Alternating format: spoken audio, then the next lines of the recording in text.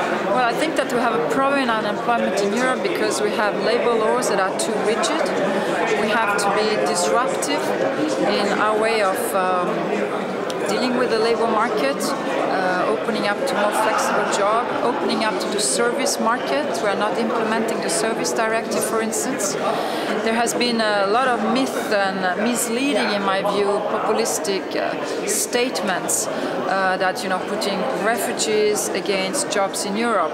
I would say the contrary. The problem is not enough good integration policies. It's not refugees. On the contrary, we should give refugees and even asylum seekers the right to work in the European Union and fast tracks for education, training, language courses, uh, for them to be integrated in the labor market, recognition of diplomas.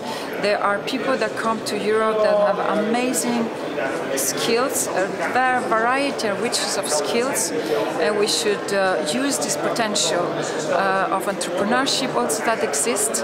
And I think that that will actually create jobs for the people of Europe. Uh, also, I would like to say that the problem is that we are putting people against people. We are considering refugees like burden. And I instead think that they are a resource and an opportunity. And at the end of the day, we need them because of the demography to sustain our welfare. Look at Germany. It is a country that has generally welcomed last year a million people and have the fast growing economy at the lower level of unemployment in Europe. It speaks for itself.